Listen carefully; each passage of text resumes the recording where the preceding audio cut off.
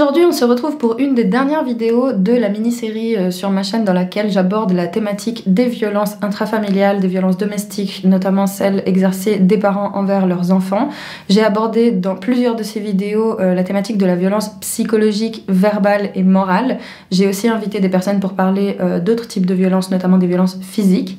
Mais tu trouveras tout ça dans la description. Il y aura un lien qui te mènera vers une playlist dans laquelle j'ai rassemblé toutes ces vidéos et le mieux c'est de les regarder dans l'ordre parce que j'y déroule un en fait euh, particulier, donc euh, je t'invite à le faire si t'as pas vu les vidéos précédentes. Dans cette vidéo, j'avais prévu d'inviter ma mère parce que souvent, en fait, euh, dans les commentaires du coup de celle que j'ai sortie précédemment, beaucoup de personnes me demandaient, mais du coup, qu'est-ce qu'elle faisait ta mère en fait dans cette situation? Parce que ben, elle vit avec moi, elle est censée se rendre compte que sa fille souffre et que sa fille a vécu pendant de nombreuses années de la maltraitance quotidienne de la part de son géniteur. Et donc c'est normal que des personnes se posent la question de l'autre parent en fait. Qu'est-ce qui fait l'autre parent? Est-ce qu'il participe? Est-ce que l'autre parent réagit? Est-ce que l'autre parent est dans le déni? Est-ce que l'autre parent subit aussi des maltraitances? Ce sont des questions très importantes et intéressantes. Et j'avais envie en fait euh, ben, de faire parler ma maman tout simplement parce qu'elle a énormément de choses à dire. Euh, sauf que après réflexion, euh, je crois que je préfère ne pas la montrer, tout simplement. Même anonymement, euh, non pas que je montre jamais ma mère, en fait, genre je l'ai déjà montré sur Instagram, elle a déjà même fait quelques apparitions dans des vidéos, mais pour parler de cette thématique-là, j'estime qu'en fait c'est ma responsabilité et c'est mon dos à moi si j'ai décidé de m'exposer comme ça. Euh, et quand bien même ma mère est un adulte libre et consentant, euh, ça me met quand même mal à l'aise l'idée de... Bah, en fait, de devoir indirectement bah, gérer son image et, de enfin pas son image je sais pas comment dire mais en gros voilà genre j'ai envie de la préserver c'est tout. Et tu comprendras d'ailleurs au fur et à mesure du récit de cette vidéo que bah, le fait que je cherche à la préserver ça c'est complètement logique avec notre histoire. Euh, peut-être que je devrais en fait juste voilà laisser que les choses se fassent comme j'avais prévu au départ, c'est-à-dire faire une interview avec elle, mais euh, en fait ça m'angoisse trop. Je non. La vérité c'est qu'en fait depuis que je sors cette série de vidéos, je suis comme ça, genre vraiment tous les jours. Euh, non pas que j'ai peur qu'il m'arrive quelque chose ou quoi, parce qu'en fait euh, le pire qui peut m'arriver c'est un procès, je pense. Mais euh, je crois pas que ça arrivera. Euh, je sais que ce que je dis, ben, c'est dit avec une bonne intention, avec euh, honnêteté. Enfin, genre, je mens pas en fait dans ce que je raconte. Donc, j'essaie de me rassurer en me disant que ce que je fais avec ces vidéos, c'est juste ma vie, c'est juste les faits. Et c'est, pas sorti d'un chapeau magique, c'est pas fait dans le but de nuire à qui que ce soit, c'est vraiment juste pour me décharger et pour aussi, ben, d'une certaine manière, venir en aide aux personnes qui vivent la même chose. Oui, j'essaie de m'auto-rassurer, mais ouais, ça n'empêche pas le fait que euh, ben il y a plein de moments depuis que j'ai sorti ces vidéos où je me mets à regretter, où je me dis que en fait je suis en train de m'exhiber, qu'en fait je suis en train d'exposer la vie privée de quelqu'un d'autre, que enfin bref, c'est super compliqué, ça crée des sentiments très contradictoires et en même temps je crois vraiment en cette démarche. Donc pour m'enlever un maximum d'angoisse, je préfère continuer de m'exposer que moi. Ah oui, pardon, un dernier truc, je vais me servir euh, des questions qu'on m'a posées sur Insta et j'ai pas du tout écrit cette vidéo. En fait, la majorité de ces vidéos, je les fais un peu en freestyle parce que euh, le simple fait de me poser devant mon ordi et de commencer à réfléchir à ce que je vais dire, comment, dans quel ordre et tout, ça me fait déjà douter de la démarche. Donc je me dis, allez, hop, on allume la caméra, on parle et on verra après. Donc je m'excuse d'avance si c'est assez confus et déstructuré, mais bon, je pense que t'as l'habitude si tu suis mes vidéos depuis un certain temps. Maintenant, Caro, ta gueule et commence le récit. Ta gueule et parle, oui, bien sûr, très logique. Bref. Donc pour le contexte, il faut savoir que mes parents se sont rencontrés à Genève dans les années 90. Les deux sont immigrés, donc mon père immigré espagnol et ma mère immigrée colombienne. Euh, au moment de leur rencontre, mon père était déjà installé depuis plusieurs années à Genève, il avait déjà une situation, euh, un travail, enfin bref, ça allait bien pour lui. Et ma mère, fraîchement arrivée, était dans une situation, comme beaucoup d'autres immigrés, assez catastrophique puisque euh, elle fuyait une situation compliquée dans son pays. Je te laisserai faire tes recherches sur la vie en Colombie dans les années 90 et t'imaginer à quoi devait ressembler le quotidien de la famille de ma mère. Et il faut savoir qu'en fait, elle avait déjà eu bah, du coup une relation avec un homme avec qui elle avait eu un enfant, qui est donc ma sœur, techniquement ma demi-sœur. Et euh, du coup, cet homme-là, déjà, euh, était une personne assez problématique qui avait fait subir à ma mère, déjà, à ce moment-là, euh, des violences misogynes en tout genre. Elle arrive donc en Suisse, elle rencontre mon père. deux ans plus tard, elle fait venir ma sœur, du coup, pour qu'ils vivent dans un petit foyer à Troyes. À ce moment-là, ce qu'elle m'explique de mon père, c'est qu'elle le trouve un peu bizarre est effectivement très machiste, mais disons qu'à l'époque, euh, c'est pas comme aujourd'hui, c'était beaucoup plus normalisé, euh, il y avait beaucoup moins de remise en question, en fait, de... en tout cas dans, dans, les grands médias, dans le débat public, etc. On parlait pas trop, en fait, des violences sexistes, sexuelles euh, dans l'espace public, et du coup, disons que c'est maintenant, avec le recul, qu'elle me dit que oui, il était bizarre et qu'il lui faisait subir des choses pas normal, comme par exemple le fait de lui retirer son salaire sous prétexte qu'elle euh, ne sait pas gérer son argent parce que c'est une femme, ou encore le fait euh, d'avoir des interdictions en tout genre juste parce que c'est une femme, euh, des interdictions d'aborder certains sujets, de faire certaines activités, de s'intéresser à certaines choses. et voilà, en fait, si tu veux, pour te la faire courte, imagine une caricature du patriarche excessivement machiste euh, que tu penses qu'il n'existe plus, hein, t'imagines que c'est quelque chose là qui, qui date de l'âge de pierre, etc. Et bah c'est lui. en fait, ce qui est assez marrant dans cette histoire et triste à la fois, c'est que c'est tellement caricatural que ça en devient risible. En fait, quand tu quand entends ma mère parler euh, de ce que lui faisait subir mon père euh, déjà avant même que je naisse, surtout au moment où elle est tombée enceinte, vraiment tu te dis mais c'est pas possible. C'est vraiment une caricature du macho, genre bref. Donc voilà, ils vivent à trois donc avec ma soeur pendant un temps, ça se passe plutôt bien et là euh, je débarque. Ma mère tombe enceinte de moi et en fait c'est à partir du moment où euh, elle est tombée enceinte de moi que mon père visiblement, d'après ce que j'ai compris, a commencé vraiment à adopter un comportement euh, très étrange. Donc techniquement il était déjà papa parce qu'il avait adopté ma soeur officiellement, mais ma mère m'a dit c'est vraiment quand je suis tombée enceinte de toi que il y a quelque chose qui s'est passé euh, parce que du coup j'étais euh, son premier enfant biologique. Et visiblement, euh, pour lui, c'était un très gros enjeu parce que son comportement a radicalement changé. Il était déjà à la base un homme particulièrement macho et sexiste et tout ce que tu veux. Enfin, tu sais, voilà, ces prototypes de, de mâle alpha. qui existaient à l'époque et qui étaient très valorisés dans la culture mainstream et tout, genre vraiment, genre le monsieur qui ramène l'argent, qui s'habille bien, costard cravate, qui fume le cigare, euh, qui parle jamais, euh, qui est en mode. enfin bref, voilà. Mon père, c'est vraiment genre une caricature. il avait déjà cette base euh, qui aujourd'hui est remise en question par absolument tout le monde, en tout cas je l'espère, sauf les masculinistes. Mais quand il a su du coup que bah, j'allais arriver, vraiment visiblement ça, ça, a foutu un stress en plus, ou je sais pas, qui a fait que vraiment à partir de là, la relation entre les deux n'allait plus du tout, mais alors plus du tout du tout. Euh, et que ma mère, ne serait-ce que trois mois après ma naissance, il me semble, ouais c'était trois mois après que je sois née, euh, elle était déjà en train de chercher euh, un avocat pour euh, divorcer de mon papa. Et elle avait déjà cherché de l'aide auprès d'associations pour, euh, qui venaient en aide à des femmes victimes de violences conjugales euh, parce qu'elle était déjà désespérée par la situation familiale. Ce qui est intéressant, c'est que mon père n'a jamais, jamais, jamais levé la main sur ma mère, ni sur moi, ni sur aucun de ses enfants, enfin, ni sur ma sœur en gros. et que ma mère, malgré le fait qu'elle n'avait aucune lecture féministe de la chose à l'époque et que voilà, c'était un sujet à nouveau très tabou euh, et pas du tout abordé, elle avait déjà conscience que ce qu'elle vivait c'était de la violence sans la nommer. Et c'est très particulier parce qu'en fait, euh, je fais un petit saut dans le temps, mais jusqu'à il n'y a pas si longtemps que ça, bah, quand je parlais de, de, ce qu'a vécu ma mère et que j'essayais de, de, mettre des mots en fait sur sa douleur, elle était plutôt dans une forme de déni et de dire non, c'est pas vraiment de la violence, parce que justement pour elle, la violence, c'est ce qu'elle vivait bah, dans son pays en fait. Enfin, je veux dire même encore en Colombie aujourd'hui, euh, la violence est beaucoup plus euh, banalisée et beaucoup plus euh, présente dans le quotidien des gens que dans un pays comme la Suisse, par exemple. Mais à l'époque, c'était encore pire. Et du coup, en fait, bah, à partir du moment où il n'y a pas du sang et des fractures, ou même pire, c'est vrai que c'est difficile de dire bah, ce que je vis, c'est de la violence. Et du coup, pendant très très très longtemps, ma mère, elle a refusé de mettre ce mot sur ce qu'elle avait vécu parce que pour elle, c'en était pas.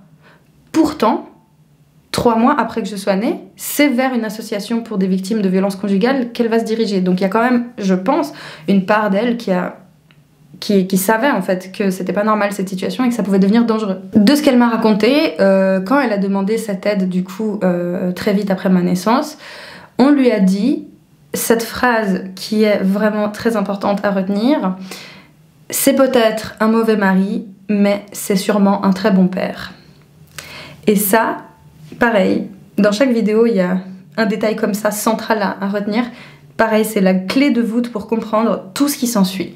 Parce qu'à partir du moment où on lui a dit ça, elle va y croire et elle va y croire dur comme fer encore 20 ans plus tard, encore 25 ans plus tard même j'ai envie de te dire. Heureusement aujourd'hui, grâce aux sciences sociales, à la psychologie, euh, aux luttes euh, féministes, etc., on sait aujourd'hui que un homme qui se montre violent dans son couple va se montrer violent avec ses enfants peut-être pas de la même manière, mais en tout cas, euh, s'il banalise la violence euh, juste en fait euh, avec sa femme, il n'y a pas de raison qu'il ne la banalise pas avec ses enfants. Alors je sais qu'il existe des cas, d'ailleurs, qui ont été documentés et étudiés, d'hommes qui pouvaient se montrer très très très violents, par exemple dans leur travail, parce qu'ils avaient des tafs qui consistaient littéralement à tuer des gens, par exemple à l'armée, dans la police, ou même pire, dans les camps de concentration, etc et euh, qui, une fois rentrés chez eux, étaient capables euh, bah, euh, d'amour, de tendresse, d'empathie et tout ça, et qui visiblement étaient décrits comme des bons maris et des, bons pères.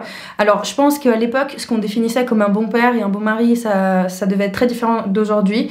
mais dans tous les cas, là, on parle pas de ça, ok? Genre, maintenant, on sait que, de manière générale, quand un homme se montre violent envers des femmes, il va aussi se montrer violent envers des enfants. Bref, on va revenir dans l'histoire. Donc ma mère croit dur comme fer euh, au fait que euh, son mari est peut-être détestable avec elle et lui donne envie de tout casser et de se buter. Mais avec ses enfants, il est un amour, tout simplement parce que pour elle, ce qui compte, et je la comprends, mais pour elle, ce qui compte, c'est le fait qu'il soit là financièrement et matériellement. À partir de là, il est un bon père. Pareil, ce serait intéressant de regarder euh, d'un point de vue sociologique quelles sont les attentes qu'on a envers euh, les pères et les attentes qu'on a envers les mères, euh, parce que souvent les darons en fait, on peut partir du principe que c'est pas grave qu'ils soient absents, c'est pas grave qu'ils montrent jamais leurs émotions, c'est pas grave qu'ils soient tyranniques, c'est pas grave qu'ils soient défaillants, c'est pas grave qu'ils en branlent pas une à la maison, etc. À partir du moment où ils ramènent du bif et qu'ils te mettent un toit sur la tête. Par contre, une mère qui fera la même chose est une horrible mère, parce qu'une mère se doit d'être aimante, compréhensive, empathique, etc. Enfin bref, les euh, normes sociales qui reposent sur ces deux statuts sont très différents.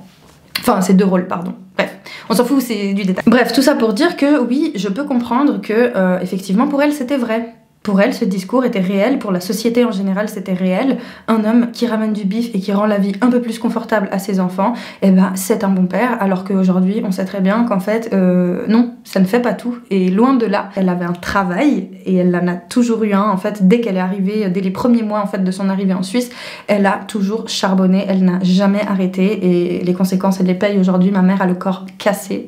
Euh, elle est, voilà, elle fait partie de ces gens qui, qui ont donné toute leur vie pour leur taf et qui se sont fait bousiller par le capital et qui sont dans cette dynamique sacrificielle en fait euh, en général, c'est-à-dire se sacrifier euh, au travail, se sacrifier à la maison, se sacrifier dans sa relation, se sacrifier tout le temps. Donc euh, elle s'est sacrifiée et elle est restée donc 7 ans de plus avec mon géniteur. Alors des fois je dis géniteur, des fois je dis mon daron, des fois je dis mon papa parce que comme je l'ai dit dans les précédentes vidéos, moi aujourd'hui le rapport que j'ai avec lui il est très ambivalent. Je ne l'ai pas éradiqué de ma vie comme ça a pu l'être pendant un temps. En plus, là, au moment où je te parle, on est en, phase de réconciliation de spi chelou, mais toujours un peu à distance. Euh, j'ai de l'amour pour lui. En tout cas, je pense. Sauf que c'est très facile de tout d'un coup retomber radicalement dans la haine et dans je ne veux rien savoir et je préfère que tu disparaisses de ma vie à tout jamais. Je ne veux surtout, surtout pas avoir de contact avec toi. Bref, donc en fait, je passe souvent de l'un à l'autre, de moins en moins ces dernières années, mais euh, vu les événements récents, c'est vrai que je suis encore un peu chamboulée.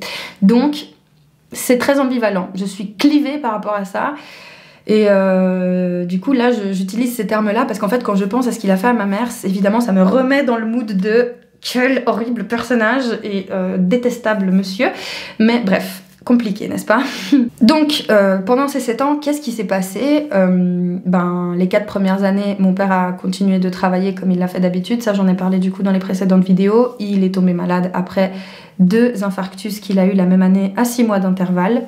Et ça a encore plus rendu la situation compliquée, puisqu'à partir du moment où lui, il a fait ses infarctus, euh, ben, il était handicapé à vie, il a perdu son travail, il est resté à la maison et je te laisse imaginer ce que ça fait pour un homme mal alpha de l'époque en plus euh, de se retrouver dans une telle situation. Euh, c'est vraiment le meilleur moyen de leur faire perdre toute confiance en eux et de les rendre ben, aigris, machin, tout ça, parce qu'en fait, voilà, le fait, enfin c'est à nouveau c'est par rapport aux normes de genre. euh, J'imagine que voilà le fait d'avoir perdu son travail, perdre sa santé, que avec dans sa famille ça n'aille pas et tout.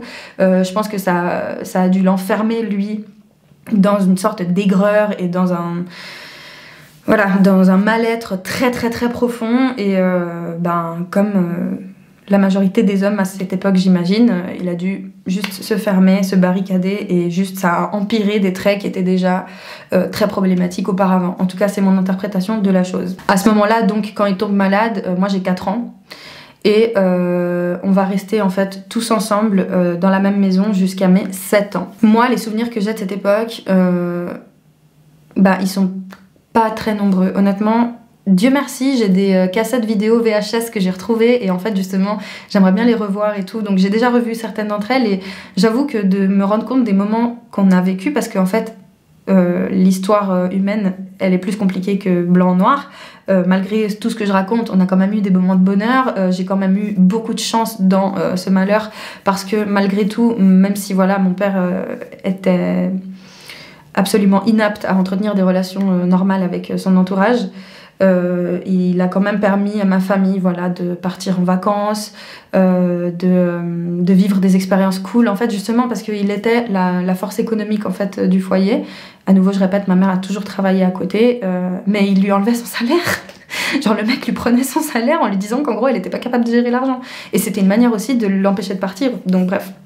Et ça, c'est un truc parmi euh, des milliards que je vais pas citer parce que voilà, sinon on est là jusqu'à demain. Mais euh, voilà, tu vois, regarder ces vidéos, me rappeler qu'en fait, euh, bah, la petite fille que je vois dans la vidéo, elle adore son papa. Elle lui court, dans les bras. Elle dit que, son papa lui manque. Enfin, tu vois, de voir ces vidéos-là, ça me rappelle que, en fait, bah oui, il y avait beaucoup de souffrance, mais il y avait aussi beaucoup d'amour. Et, et du coup, ça rend la chose bizarre. Parce que moi, dans mon esprit conscient, euh, j'arrive pas à me rappeler de ça. Moi, je me rappelle, j'ai un biais de négativité qui se rappelle que de- des problèmes et des, dramas et des, crises. Euh, et euh, bref, je me suis perdue. Pourquoi je racontais ça? On arrive du coup dans l'année 2004, j'ai 7 ans. Et ma mère décide de partir une bonne fois pour toutes parce que sa souffrance est trop grande. Moi, à ce moment-là, je ne vois pas du tout que... Oh putain, je viens de me rappeler d'un truc. Je dis que je vois pas du tout, mais en fait je vois totalement. Là, je viens de me rappeler que j'ai un album photo du coup avec euh, bah, des photos de moi bébé, du mariage de mes parents et tout. Et en fait, sur une des pages, alors peut-être que je la mettrai à l'écran, mais sur une des pages, j'écris avec mon écriture d'enfant euh, à côté de la photo de mariage de mes parents. Et tu peux lire euh, Maman, pourquoi tu es triste ou un truc dans le genre. Et je sais que j'ai écrit plusieurs trucs comme ça en fait dans les albums photos quand j'étais petite, donc je pense que je voyais déjà que, ma mère était malheureuse et que mon père aussi l'était probablement, mais je voyais surtout que ma mère souffrait en fait, parce que de toute façon j'avais des... Même si à l'époque j'idolâtrais mon père et j'aimais mon père, euh, je l'ai déjà dit, il me faisait peur, euh, il me tyrannisait et genre dans, dans tous les cas je le voyais pas euh, comme un comme un être humain normal, je le voyais comme un demi-dieu et tout, donc euh, voilà, bon bref. On part donc euh, de la maison, on déménage dans le même quartier parce que ma mère tient quand même à ce que je puisse, euh, moi et ma sœur aussi d'ailleurs, avoir un lien avec mon père parce que pareil, quelle horreur, euh, comment ce serait vu si euh, elle, empêchait son ex-mari de voir euh, ses enfants, ce serait une horrible personne, une horrible mégère, etc. etc. Et donc voilà, elle a tout fait pour qu'on puisse garder un lien avec lui. Et je ne lui en veux pas d'avoir fait ça parce que je sais qu'elle pensait bien faire et je sais que pour elle, il n'y avait pas d'autre option. Parce que les ressources matérielles, en fait, autour d'elle n'étaient pas à disposition pour comprendre la situation.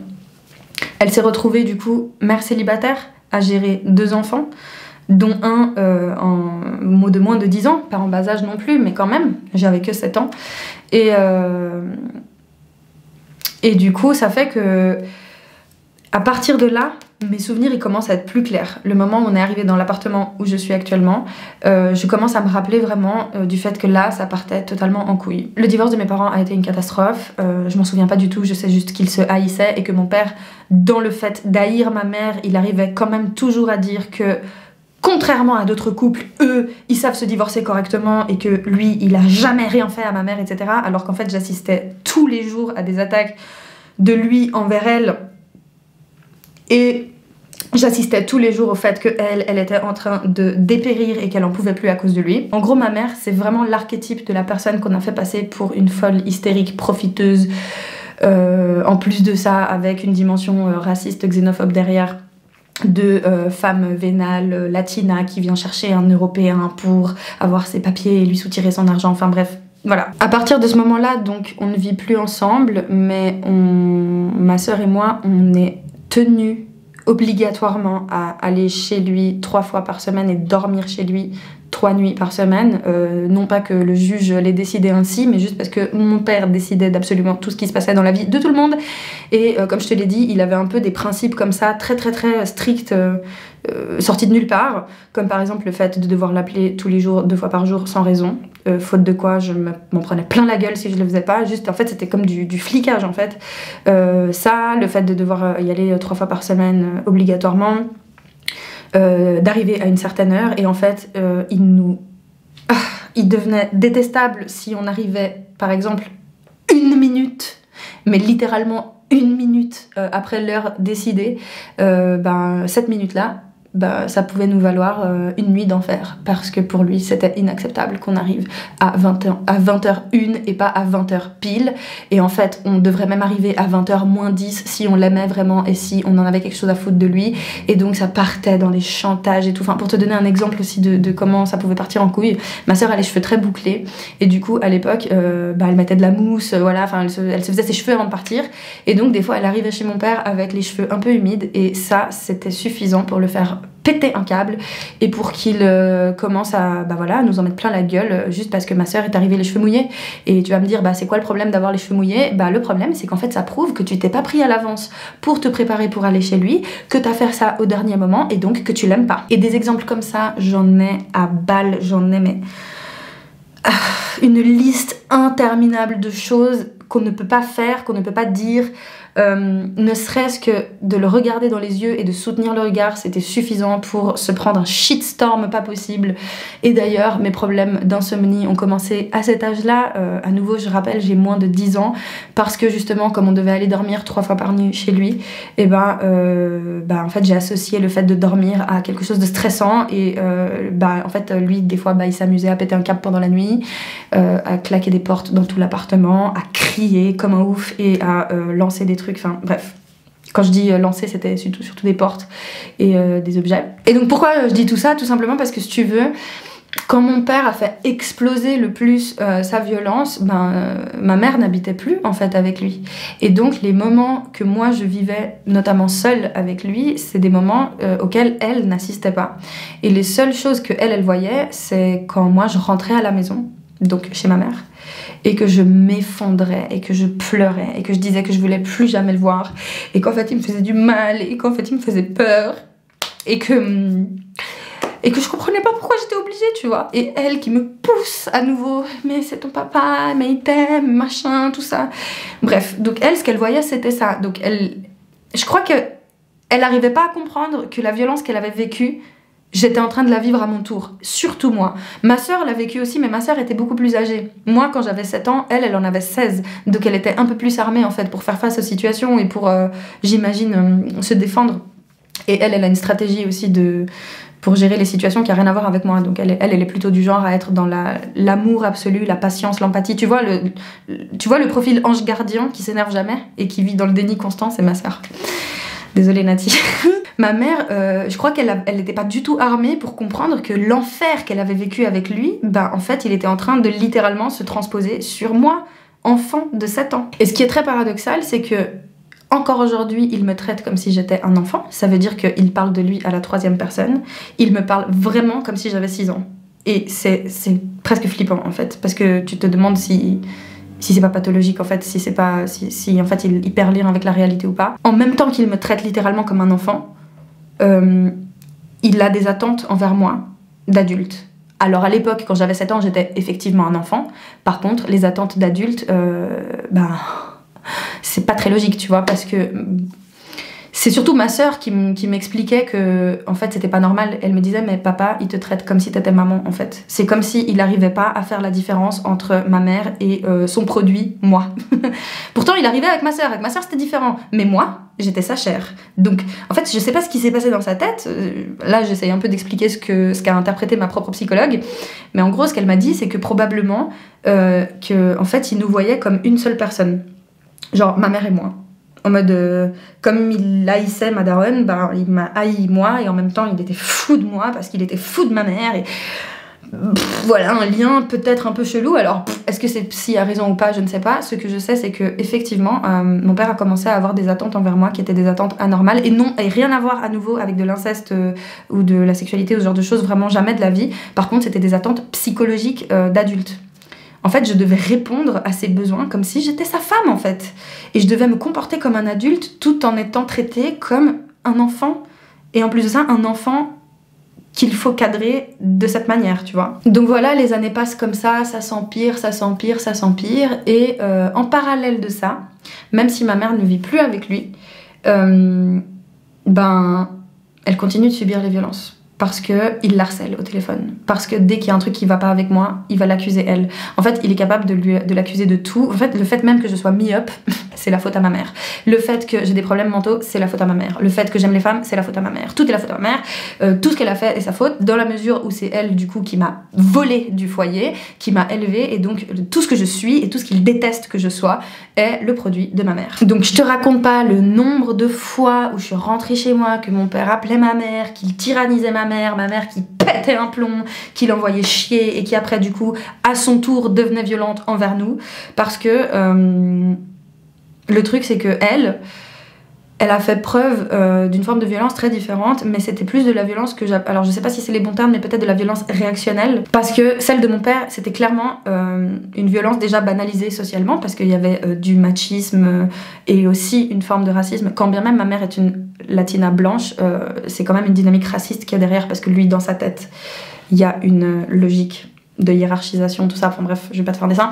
Mais du coup, la violence que, lui, il exerce, non seulement elle est déjà de base sociale, mais en plus de ça, elle est gratuite et elle est vraiment genre de type défouloir en fait sur nous.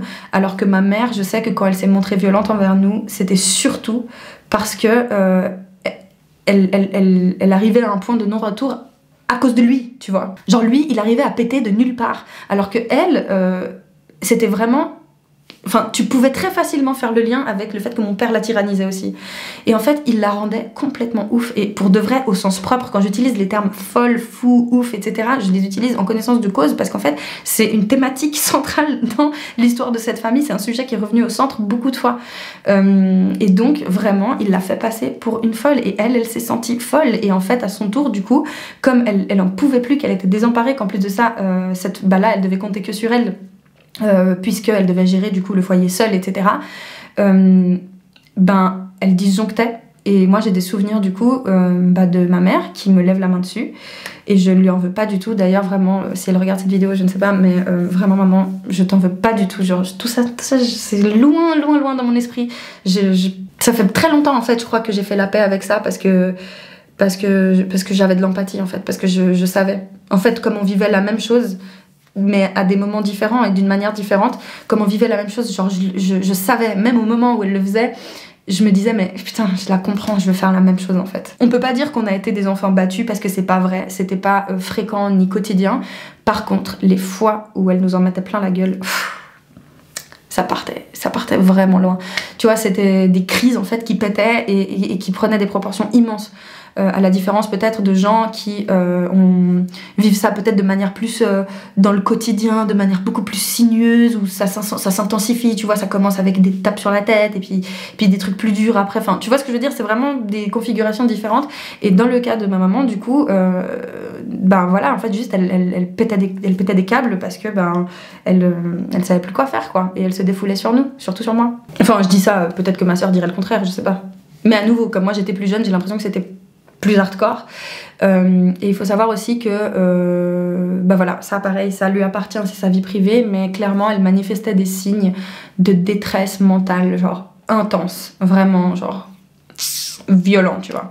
Et moi, je voyais ma mère souffrir et, euh, et elle était malade. Physiquement aussi, ça la rendait malade parce que du coup, euh, moi j'ai des souvenirs d'elle pendant plusieurs années qui, qui, voilà, qui souffre psychiquement sans le nommer, où elle a des migraines, où elle a des, des, des douleurs au ventre ou voilà enfin je, voilà, j'ai vu ma mère souffrir en fait euh, toute cette vie et euh, comme j'étais convaincue que, en fait ce qu'elle avait vécu c'était ce que j'étais en train de vivre et eh ben euh, je me suis attachée à elle vraiment on a eu une relation mais à nouveau, peut-être pas des plus saines, mais c'est devenu ultra fusionnel entre elle et moi. Ultra fusionnel dans le sens où, pour le coup, il s'est produit un phénomène psychologique et sociologique qu'on appelle la parentification.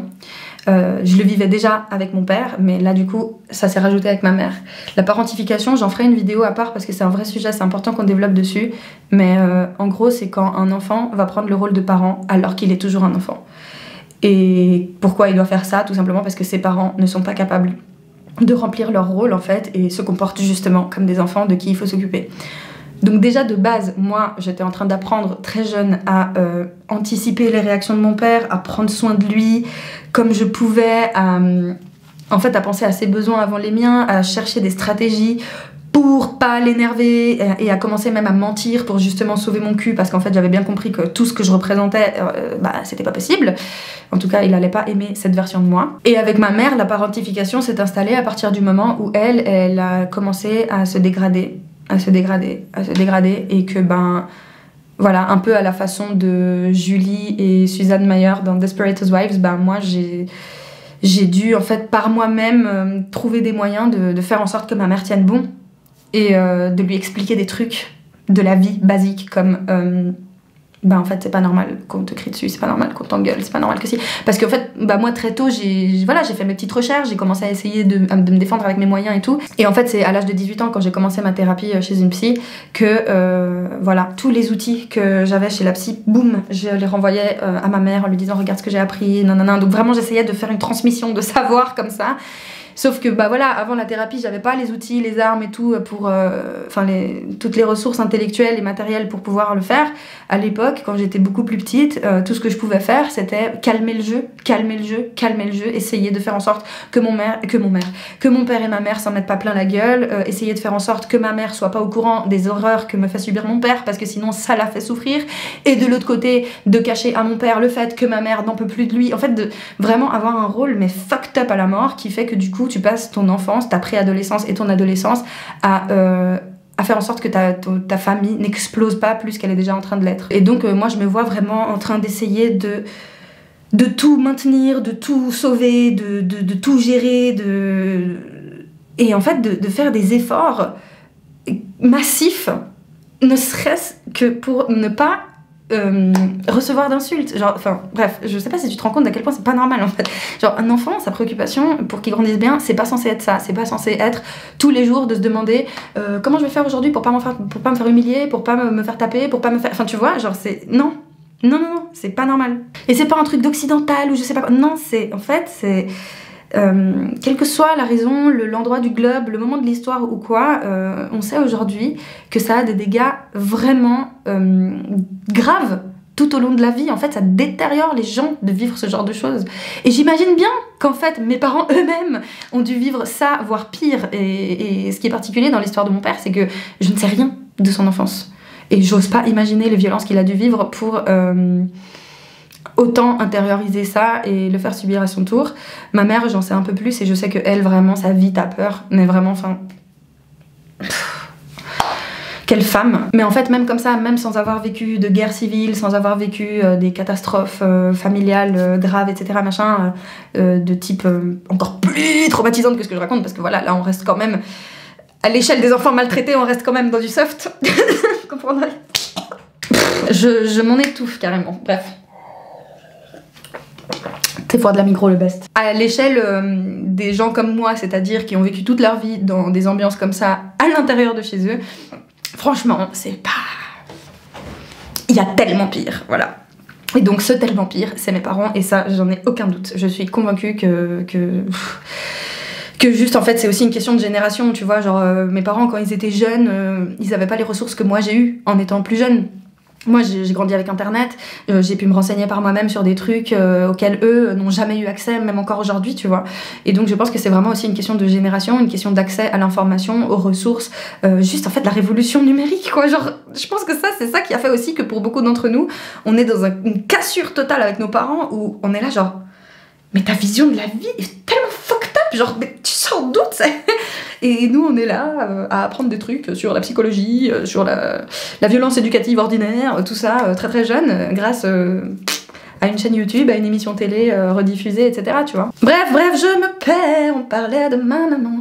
j'ai même pas lu les questions d'Insta pour te dire. Mais du coup, voilà, j'ai quelques souvenirs de, de, fois où, voilà, où elle m'a bien marave comme il faut et que, et que bah, du coup, ça n'améliorait pas la situation forcément. Mais comme je l'ai déjà dit dans d'autres vidéos, moi c'est vraiment pas ça qui m'a le plus marqué dans la vie. Il euh, y a eu un moment où ça s'est stoppé net. Genre vraiment, ma mère, à un moment, je ne sais pas ce qui s'est passé dans sa vie. Je crois que je devais avoir 15 ans, 16 ans peut-être. Mais vraiment, du jour au lendemain, euh, elle s'est anesthésiée. Elle est passée de cocotte minute prête à l'explosion tous les 5 jours de la vie à morte Et je dis ça maintenant avec le recul, à ce moment-là, je me rendais pas compte. Euh, à ce moment-là, je me suis juste dit, mais qu'est-ce qui lui arrive à cette folle? Enfin, vraiment, ma famille, tous des baisers, genre, euh, c'est pas possible. Genre, je me dis, elle aussi, elle s'y met. En fait, je trouvais ça presque pas normal qu'elle réagisse plus comme elle réagissait habituellement.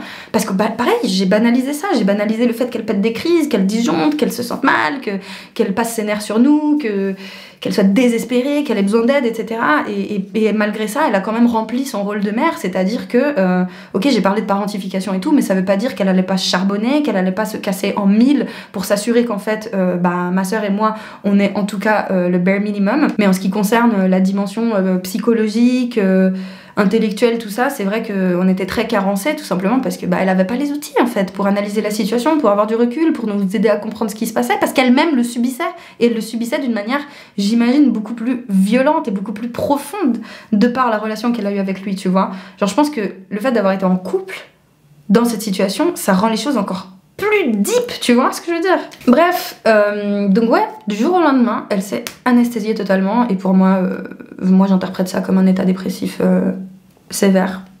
Je pense que juste en fait, elle a perdu goût à tout, qu'elle avait même plus la force de, s'énerver. Genre, moi je me rappelle juste que je la reconnaissais plus.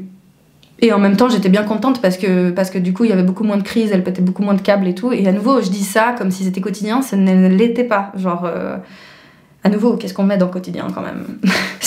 Selon les années, c'était soit chaque semaine, soit chaque mois. Et puis il y avait des phases où c'était presque tous les jours. Ça dépend. En fait, c'était vraiment, ça variait dans tous les sens. Mais je sais que, euh, voilà, moi j'ai compris très tôt qu'elle était victime de violence elle aussi. Euh, j'ai compris très tôt que euh, qu'elle n'était pas malveillante envers moi, mais juste désespérée. En tout cas, j'arrivais à voir que elle, elle voulait mon bien et qu'elle m'aimait. En tout cas, sa manière de m'aimer me correspondait quand même mieux que la manière qu'a mon père de m'aimer. Et en l'occurrence, le fait que ce soit tendu à ce point, ça n'empêchait pas le fait que, en tout cas, avec elle, j'arrivais à ressentir l'amour, j'arrivais à voir que, que, en fait, qu'elle voulait mon bien. Parce qu'avec lui, j'arrivais pas. Euh, lui, pendant des années, j'ai considéré qu'en fait, il voulait juste me détruire, qu'il voulait juste gâcher ma vie et je le voyais que comme ça. Maintenant, avec le recul, avec les événements qui ont changé, j'arrive à voir que pour lui, dans sa tête, vraiment, bah ouais, c'est comme ça qu'il interprète les choses et, oui, bah c'est sa manière d'aimer. Euh, putain. Mais à l'époque, voilà, pour moi, c'était pas comme ça et c'est pour ça qu'avec ma mère, c'est devenu très très fusionnel et on a eu voilà une relation plus euh, d'amis plutôt que de parents-enfants, puisqu'en fait, moi, je suis devenue adulte, mais si vite je suis devenue mature, mais si vite. Et en fait, j'étais là avec mes grands discours à expliquer la vie, à expliquer les choses, machin. Euh, et d'ailleurs, au début de ma chaîne, en fait, j'ai commencé comme ça. À ton avis, pourquoi j'ai commencé dans le développement personnel? Tout simplement parce qu'en fait, c'était la seule issue possible. Je suis arrivée dans une bibliothèque une fois, j'ai vu un livre comme ça, là, je me suis dit, mais comment ça, là, le pouvoir de la pensée? Ces vidéos existent toujours sur ma chaîne. Les toutes premières vidéos de ma chaîne, ce sont trois vidéos qui résument ce livre-là dont je parle maintenant, qui s'appelle Mind Power. Euh, qui est un livre en fait de développement personnel basique. Euh, aujourd'hui, je me dis, mais mon dieu, c'est vraiment genre du néolibéralisme, individualisme 100% euh, dépolitisé à la mort. Mais toujours est-il qu'à ce moment-là, je me rappellerai comme si c'était hier, j'ai 16 piges, je tombe sur ce livre. Ma vie change. Je me dis, c'est bon, ça y est, j'ai tout compris. Il faut détruire son ego, il faut mettre euh, ses, blessures de côté, il faut prendre du recul, il faut métacommuniquer, il faut ci, il faut ça. Et du coup, j'étais partie dans mes trucs, mais vraiment, elle va voir ces vidéos à l'époque, je te jure, c'est quelque chose de les, de les revoir. Et le truc, c'est que très vite, ma mère s'est mise à se frustrer parce qu'en fait, j'étais en train d'expliquer, d'essayer de lui expliquer la vie alors qu'elle, elle essayait juste de survivre et de s'en sortir. Et euh, bah, ça a commencé pareil à créer des tensions avec elle à certains moments où euh, ben, elle était dans le rejet de ce que j'essayais de lui apporter. Et euh, moi, j'étais dans la frustration du fait de voir qu'elle ne voulait pas céder alors qu'en fait, ben, elle est plus âgée et qu'elle devrait le faire. En gros. Comme ce schéma du coup euh, s'est appliqué à elle, puis ensuite à moi sous une autre forme, je pense que inconsciemment, ma mère et moi, on savait qu'on avait les mêmes blessures, les mêmes traumatismes, pas identiques, on est bien d'accord, mais voilà, en très très gros, disons que les grandes lignes directrices de nos traumatismes étaient similaires. Et donc voilà, ça a créé une relation très très fusionnelle euh, qui en fait empirait la rage de mon daron. Parce qu'en fait pour lui, c'était justement la preuve que euh, ben, elle me manipulait pour que je le déteste et que moi en fait je préférais ma mère et qu'en fait je le détestais etc et en fait c'était vraiment une prophétie autoréalisatrice plus il me tyrannisait plus il la tyrannisait plus on se retrouvait elle et moi malgré les tensions dont j'ai parlé tout à l'heure et donc plus ça confirmait son truc de euh, de, persécution. Parce qu'en fait, c'est à nouveau, j'utilise ce terme en connaissance de cause. Mon père a vraiment euh, des pensées de persécution. Je ne dirais pas un délire, parce que j'ai déjà vu, en tout cas, j'ai déjà connu des personnes euh, qui ont eu des délires de persécution. Alors, ça n'allait pas jusque-là, mais franchement, à ça, à ça pour de vrai. Bref, du coup voilà, les années passent, j'ai raconté un peu le récit du reste dans les autres vidéos, la manière dont euh, voilà j'ai pris conscience des choses, que j'ai été aidée pour m'en sortir, etc. Truc truc. Et c'est notamment du coup ma mère qui a l'initiative de ce déclic puisque comme je l'ai déjà raconté, euh, lors de mes 18 ans, elle a vu voilà que c'était vraiment plus possible en fait mon état, que c'était vraiment inquiétant. Et donc elle m'a fait aller dans une association spécialisée pour comprendre bah, les auteurs et les victimes de violences domestiques. Genre, c'est littéralement une, une, association faite pour ça. Et là, ça se complique parce qu'en fait, si tu veux, pendant que moi, je commence ma thérapie, je commence à comprendre qu'est-ce que c'est la violence, comment elle se manifeste, quelles sont les conséquences de celle-ci, tout ça, enfin bref, voilà. En même temps que moi, j'essaye de, prendre du recul, de me détacher, de poser des limites, d'aller bien, en fait. Bah, elle, elle comprend de moins en moins ma vision, tout simplement parce qu'elle, elle n'a pas ces armes-là. Et du coup, ce que moi j'essaye d'apporter en lui disant ouais mais ça en fait si c'est ça enfin genre voilà j'essaie d'expliquer les choses avec la lecture thérapeutique et eh ben elle comprend pas elle comprend pas et du coup ben ça crée du déni euh, parce que euh, quand euh, avec l'âge du coup passé 18 ans j'avais quoi la vingtaine comme ça quand j'ai commencé à vraiment mettre les termes et à dire voilà j'ai vécu de la maltraitance bah elle elle était là non c'est pas possible, mais non, c'est pas ça la maltraitance. Et, et, là, et, du coup, pendant plusieurs années, il y a eu ce truc où elle, elle s'est renfermée comme ça, mais vraiment en mode non, c'est ça peut pas être arrivé parce que en fait c'était pas un bon mari mais c'était un bon père. Et c'est vraiment ce truc qui ressortait tout le temps. Mais c'est un bon père mais il t'aime mais c'est un bon père mais il t'aime mais c'est un bon père mais il t'aime.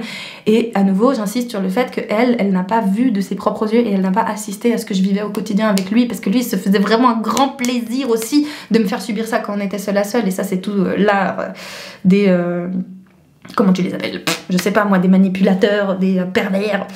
Je sais qu'on dirait pervers narcissique, mais ce mot est si controversé. Je ne sais même pas s'il veut dire quelque chose. Je sais qu'il n'a pas de, de valeur scientifique à proprement parler, il me semble. Mais bref, tout ça pour dire que euh, moi j'essayais de me défaire de tout ça et pour que elle puisse suivre le truc, il aurait fallu que ben elle aussi soit dans la même démarche, en tout cas au même moment. Et c'était pas le cas. Donc il y avait vraiment des chemins différents. Pendant que moi j'essayais de d'extraire mon père de ma vie et de poser mes limites, bah elle, euh, elle continuait de devoir recevoir sa haine, ses attaques, ses machins, ses trucs. Parce qu'en fait, euh, encore aujourd'hui, euh, bah, il, il, veut avoir un contact en fait avec elle et il va continuer de lui demander des comptes et tout machin. Et encore aujourd'hui, du coup, elle, elle est dans une dynamique, voilà, plus d'empathie elle est dans une dynamique où elle le voit comme une personne qui a besoin d'aide, qui est malade, qui est âgée. Et, euh, et, je pense aussi du fait, tout simplement, de son cadre familial à elle, euh, qui est du coup euh, un cadre dans lequel, dans lequel le père est juste inexistant. je pense que pour elle, y a, elle y croit au fait que, ben, mine de rien, il y a quand même eu cette présence, il y a quand même eu cette sécurité financière, il y a quand même eu cet amour. Certes, extrêmement douteux, mais cet amour quand même. Et que voilà, à partir du moment où lui, il m'avait jamais tapé, qu'il m'avait jamais euh, euh, agressé euh, d'une quelconque manière physique, sexuelle, etc., bah, qu'il n'y avait pas de raison de croire qu'en fait, bah, il fallait le, le, mettre à distance. Et donc voilà, on a eu des clashs parce que justement, moi, je commençais à apprendre à m'armer et que je voyais que elle, elle n'arrivait pas à s'armer. Et du coup, ça m'énervait parce que je lui disais, mais putain, je t'ai répété mille fois qu'en fait, s'il t'appelle, tu le bloques, nanana, nanana. Bref, et donc je prenais son téléphone, je bloquais le numéro de mon père exprès. Et en fait, c'est cette dynamique de parentification dont je parlais tout à l'heure. En fait, il y a un truc qui s'est installé sur les années, et ce depuis que je suis toute petite, depuis ces fameux 7 ans, une dynamique dans laquelle moi je suis là en mode super héros, je viens pour protéger ma maman. Je veux pas qu'on touche ma maman, je veux pas que mon père attaque ma maman, je veux pas qu'il lui fasse chier parce que je sais ce qu'il lui fait subir, parce qu'en fait c'est ce qui me fait subir. Et du coup, d'avoir eu cette attitude de tout le temps m'interposer, de tout le temps essayer de protéger ma mère, euh, ça fait que ben ouais, ça a déséquilibré la relation pendant un temps. Et, euh, et après ça a créé des tensions entre elle et moi.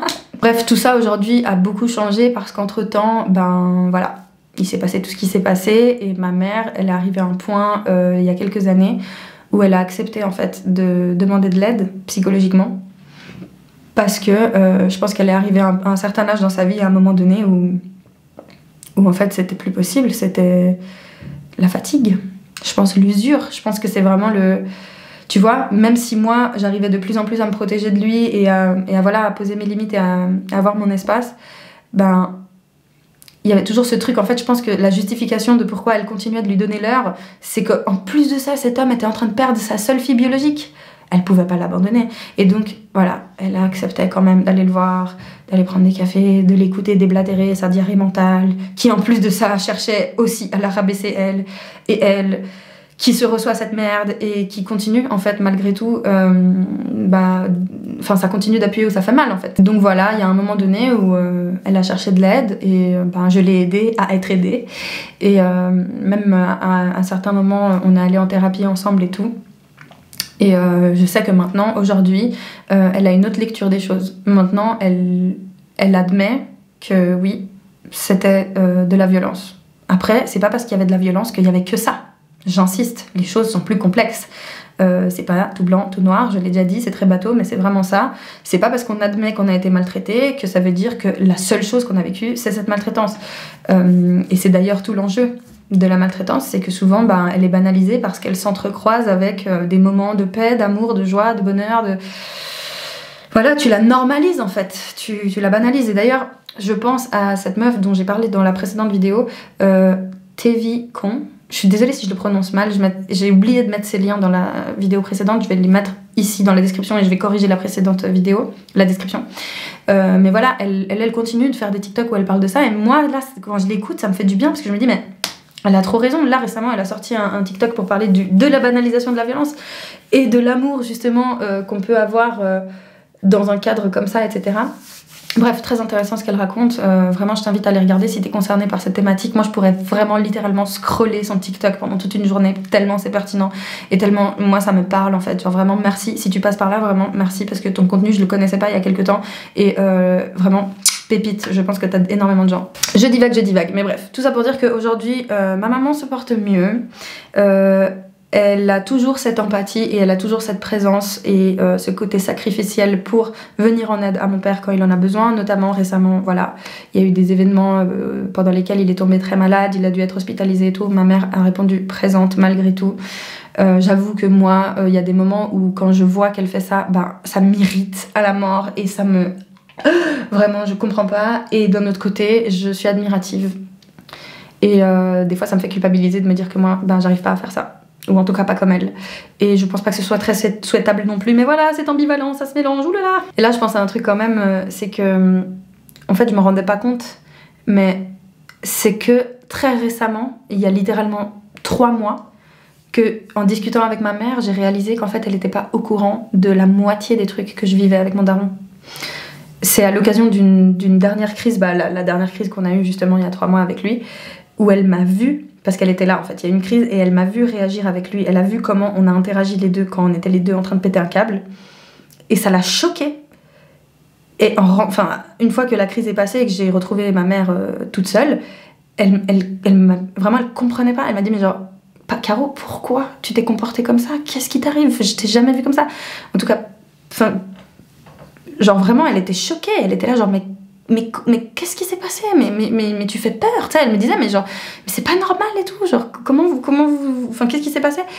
Et j'étais là, mais t'es sérieuse, genre, c'était notre quotidien, j'étais là, mais comment tu peux, enfin, tu te réveilles aujourd'hui ou c'est comment? Et genre, bref, je crois qu'il y a vraiment, je, pense que c'est humain et c'est normal, je pense qu'il y a vraiment des, des personnes qui vont supprimer peut-être des souvenirs ou essayer de minimiser ce qu'elles voient ou ce qu'elles ressentent parce que juste en fait c'est trop dur, tu vois.